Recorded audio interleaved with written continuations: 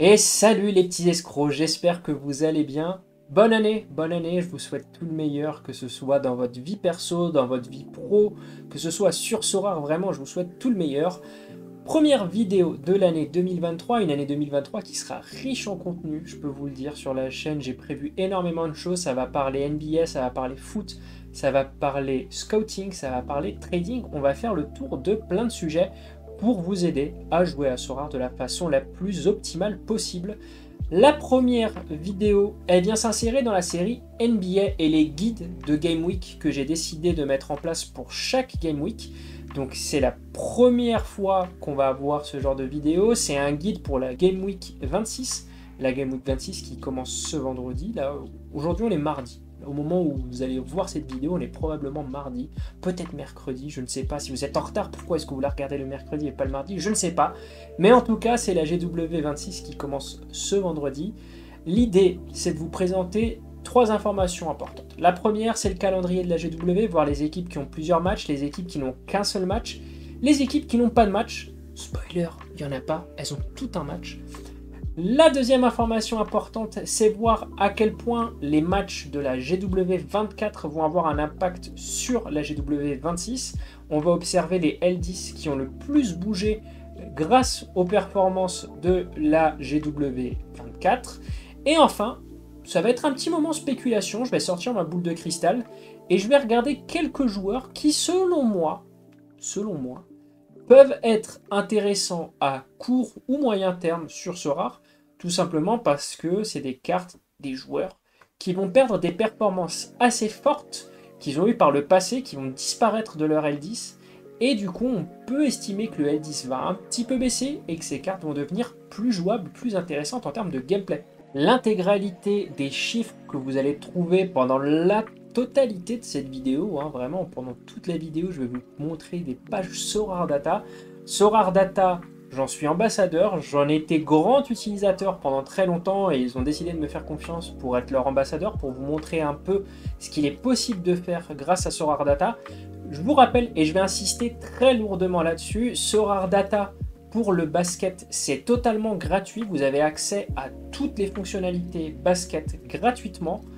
Donc n'hésitez pas, en fait, il n'y a aucune raison pour vous de ne pas jouer à Sorar NBA avec Sorar Data. Si jamais vous vous inscrivez ou si jamais vous vous dites bah, je m'en sers aussi pour le football et vous voulez prendre le mode pro ou le mode star, vous pouvez mettre le code FILS au moment du paiement. C'est un cadeau pour moi, ça vous apporte rien. C'est sincère, ici il n'y a pas de mensonge, mais moi ça me soutient et je vous en remercierai énormément. La première information qui va être super importante quand vous allez préparer votre GW, c'est de savoir le nombre de matchs que chaque joueur va avoir dans cette GW. Personnellement, j'ai souvent tendance à accepter qu'un joueur qui a deux matchs mais qui est un petit peu moins bon ait la faveur par rapport à un de mes gros joueurs qui n'est qu'un seul match. Alors, je vous l'ai dit, Yanis avec un seul match, je l'ai quand même aligné, mais c'était à mes risques et périls. Si je peux, je mets toujours un joueur qui a deux matchs dans ma line-up.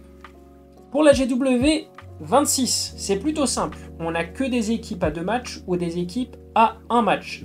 Pour les équipes à deux matchs, on retrouve les Hawks, le Jazz, les Kings, les Knicks, le Magic, les Mavs, les Nuggets, les Pacers, les Pistons, les Rockets, les Spurs, le Thunder, les Warriors, les Wolves, les 76ers, les Blazers, les Bulls et les Clippers.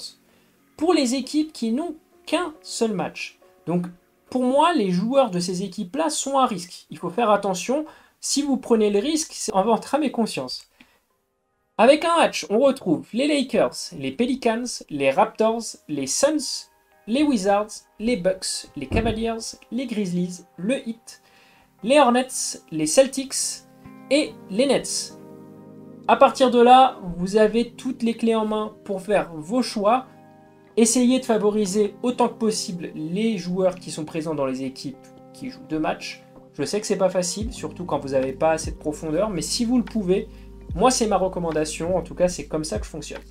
Maintenant que vous savez ça, l'objectif, ça va être de trouver un petit peu les pépites. Alors, je vais pas vous donner les pépites. Voilà, je vous le dis tout de suite, les pépites de la GW, on les aura très souvent dans les dernières minutes quand on va avoir les rapports de blessures. Donc les rapports de blessures vont nous donner les joueurs qui seront absents. Les remplaçants, qui sont souvent les joueurs avec un L10 assez faible, vont prendre des minutes. Mais ça, je peux pas vous le donner maintenant et ça serait malhonnête de ma part en fait de vous donner des noms de joueurs qui vont surperformer.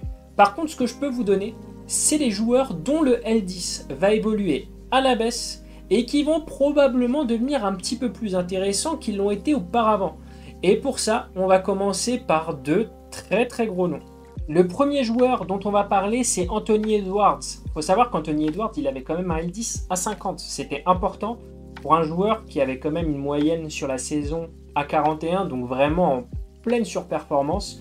Il va un peu revenir sur Terre.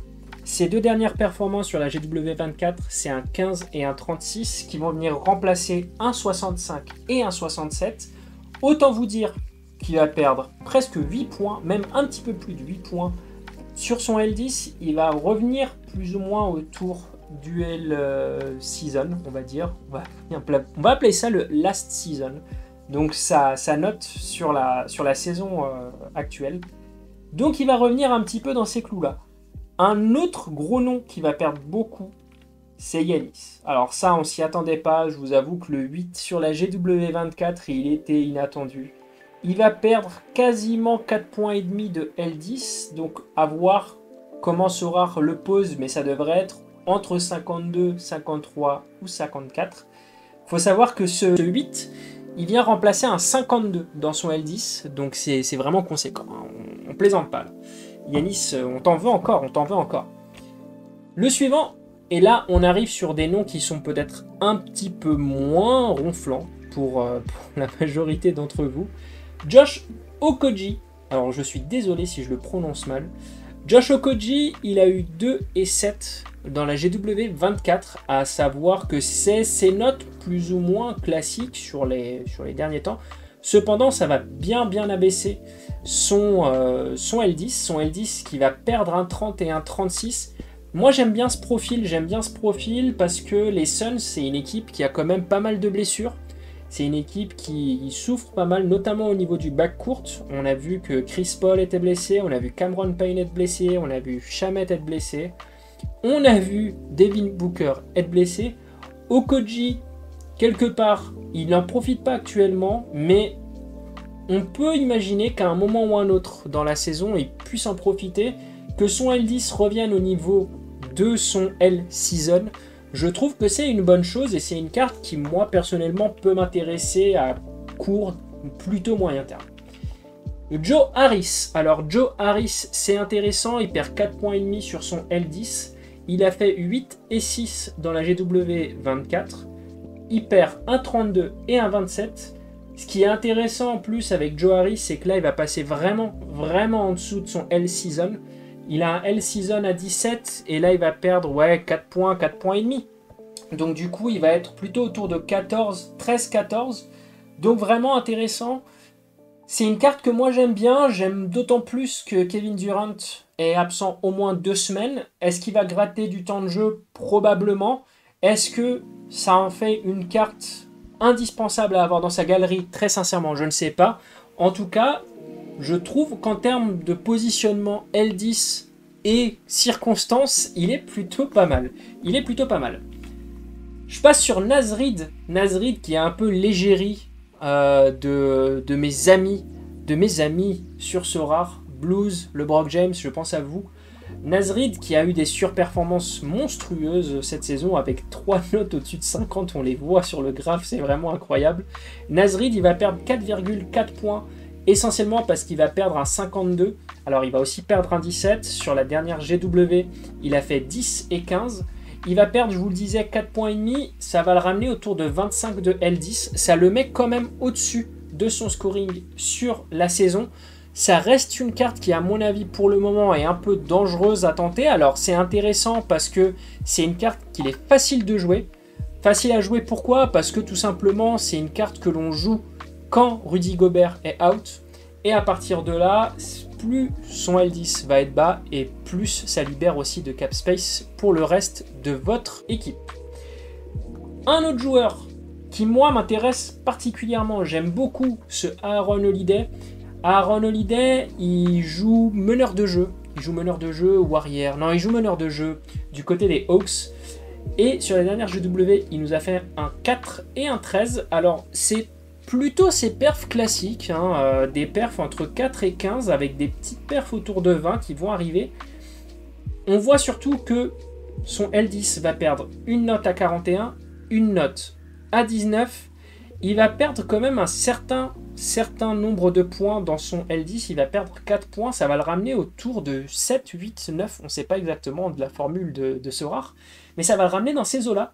Ça veut dire qu'il va être en dessous de son L saison. Et ça, moi, voilà, vous le savez, c'est quelque chose qui m'intéresse. C'est surtout un joueur qui peut performer quand Trey Young ou Dejounte Murray sont absents. C'est un joueur que moi j'aime bien. Euh, que j'ai que j'ai en galerie, vous le voyez, je l'ai en galerie, je l'ai en limited et je l'ai en rare. Donc voilà, il va avoir un L10 autour de 7, 8, 9 intéressant à mes yeux à voir ce que ça peut donner si jamais il y a des absences du côté des Hawks dans les semaines à venir. Je pense que ça sera une carte qui sera pas mal recherchée. Et là, c'est le moment que vous attendez tous, c'est le moment spéculation, le moment où vous allez pouvoir me charrier, où vous allez pouvoir me dire Phil, tu t'es gouré comme d'habitude. Oui, oui, oui, ça m'arrive, ça m'arrive, ça m'arrive même très souvent de dire des conneries. Voilà, je l'assume. La vérité, c'est que ce moment, c'est probablement le plus un peu risqué, on va dire, de cette vidéo. C'est le moment en fait où je vais essayer d'extrapoler, c'est-à-dire que je vais regarder le L10 de certains joueurs et je vais essayer de dire, ok, ces joueurs, il y a quand même des chances que leur L10 baisse dans la semaine à venir, voire dans les semaines à venir. Pourquoi est-ce que ça m'intéresse? Tout simplement parce que si vous arrivez à détecter un joueur dont le L10 est haut et qu'il est prévu qu'il baisse, ça peut vous aider, ça peut vous aider à anticiper des bonnes affaires. Moi, ce que je fais pour faire ça, c'est de regarder le dixième et le neuvième score dans le L10 d'un joueur. En fait, c'est ces notes qui vont disparaître lors de la prochaine ou lors des prochaines GW et qui peuvent en fait tirer vers le haut le L10 global. C'est-à-dire que si par exemple un joueur en 9e et en 10e score ont des scores à 70, et qu'ils ont une moyenne autour de 35, on peut imaginer qu'ils vont perdre autour de 7 points avec les deux prochains matchs, puisque s'ils font 35 et 35 au lieu de 70 et 70, ils perdent à chaque fois 3 points et demi, voilà, donc ça fait moins 7. Et en regardant ça, en fait, j'essaie d'anticiper un peu les bons coups à venir. Alors attention, attention, attention, attention, on présume. Il n'y a pas de certitude, mais on essaye d'anticiper pour gagner un petit peu de... Voilà, on est un petit peu en avance. On est un petit peu en avance sur les autres. C'est parti. Et le premier dont je vais vous parler, c'est Pascal Siakam. Alors Pascal Siakam, pourquoi est-ce que je vous en parle? Ce qui m'intéresse avec Pascal Siakam, c'est de voir que son L10, il est déjà au niveau de son L-Season. C'est-à-dire que son L10 est à peu près au même niveau que sa moyenne sur la saison. Qu'est-ce que ça veut nous dire? Ça veut nous dire que il n'est pas en sur-régime sur les 10 derniers matchs. A priori, en tout cas, il n'est pas en sur-régime. Ce qui est intéressant avec Pascal Siakam, c'est que les deux notes qu'il va perdre dans les deux prochains matchs, c'est le 62 et le 76 que vous voyez encadrés en rouge. C'est quasiment ses deux meilleures perfs de la saison. En admettant, en admettant, attention, en admettant qu'il fasse que sa moyenne, s'il fait 47, il va perdre autour d'un point et demi, puis autour de 3 points. Ce que ça veut dire, c'est que on peut envisager que Pascal Siakam soit autour de 42, 43, 44, peut-être encore en dessous si jamais il sous-perd complètement dans un des matchs à venir. Et ça, pour un gros nom, c'est quand même pas négligeable. Je sais que certains aiment mettre un deuxième gros nom dans leur euh, équipe championne. Typiquement, un joueur non MVP mais qui a un très gros niveau comme Siakam qui a 42-43, c'est quand même beaucoup plus facile à jouer qu'un Siakam à 47, soyons très clairs. Au-delà de ce gros nom qu'est Pascal Siakam, il y en a un que j'aime bien et c'est AJ Griffin. AJ Griffin, c'est un rookie, un rookie de 19 ans qui joue à Atlanta du côté des Hawks. C'est un joueur qui a fait des très bonnes performances quand il a eu du temps de jeu. Il faut savoir que c'est quand même un joueur qui a un FPPM. Alors ça, c'est les fantasy points par minute. Donc c'est le nombre de points rares que le joueur va marquer par minute. C'est des FPPM à 0,86. C'est vraiment pas mal, notamment pour un rookie. On voit que son L10, il est pas trop éloigné de son L-Season. Il a un L10 à 19, L-Season à 18. Les deux notes qui vont disparaître, c'est de très grosses notes. C'est un 34 et un 31. Alors évidemment, c'est pas un 60 comme Siakam, mais ça reste des grosses notes pour la réalité de Griffin. Et c'est ça, moi, qui m'intéresse, en fait, c'est de me dire que si Griffin perd entre 3 et 4 points, il va être en dessous de son scoring sur la saison. Ce qui veut dire qu'il sera probablement plus simple pour lui de surperformer son L10. Hein. encore une fois, un surperformer, c'est pas juste surperformer, on surperforme un L10. Et Griffin, je me dis que dans un match où il va avoir du temps de jeu, s'il a un L10 à 13, à 14 ou à 15, honnêtement, il y a quand même des chances qu'il aille surperformer. Un autre un peu dans le même genre, mais qui est un petit peu plus compliqué à cerner, c'est Chris Boucher. Tout simplement parce qu'il a déjà un L10 qui est bien en dessous de son L sur la saison. C'est assez intéressant hein, de le voir. Alors oui, il y avait des circonstances qui ont fait que son niveau sur la saison soit au-dessus de son L10, notamment des retours de blessures ou plutôt des, des absences au moment où il a surperformé. Ce qu'on voit quand même, c'est qu'il est bien en dessous. Il est bien en dessous, il est déjà à 16. Il est à 16 avec des pointes depuis le 30 décembre à 25 et à 21, donc c'est pas non plus un joueur qui est en permanence autour de 16, il a une bonne variance. Ce qui est intéressant avec Chris Boucher, c'est que le 27 et le 34 qui vont disparaître, si jamais euh, il va dans une euh, zone autour de 15, il va quand même perdre autour de 2 à 3 points, peut-être un petit peu plus même. S'il perd 3 points et qu'il se retrouve dans un L10 autour de 13, 14, 15, pour moi, c'est une carte qui commence à devenir vraiment, vraiment intéressante. Je pense qu'il y a un truc à faire autour de Chris Boucher. À voir.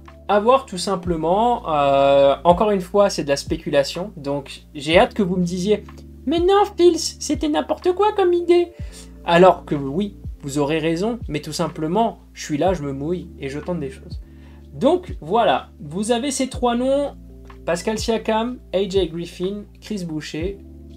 On prendra rendez-vous d'ici un mois pour voir si j'ai eu raison ou pas. Et on a fait le tour, on a fait le tour de ce guide de la GW26. Je vous remercie d'être resté jusqu'au bout. Je suis très heureux de vous proposer à nouveau du contenu sur Sorar et je suis encore plus content de vous proposer du contenu sur Sorar sur YouTube et je suis encore content de vous proposer du contenu sur Sorar, sur Sorar NBA, sur YouTube. Ça va changer. Vous allez avoir du contenu un peu différent. Ce que je peux vous dire, c'est que, petit teaser, dans la semaine, vous aurez aussi une vidéo sur les bases du trading et quelques petites techniques de trading. Chaque vidéo aura son intérêt. J'espère que vous y trouverez votre compte. Si c'est le cas, vous connaissez abonnez-vous, mettez la cloche pour avoir les notifications, commentez. Je vous en remercie. J'espère que la qualité était au rendez-vous, j'espère que vous avez aimé cette vidéo. Si c'est le cas, n'hésitez pas à me le dire, n'hésitez pas à me dire ce que vous souhaiteriez voir et que vous n'avez pas vu. Je suis là pour vous. Je vous souhaite une très bonne soirée, une très bonne journée, selon à l'heure à laquelle vous regardez cette vidéo. C'était Fils. À bientôt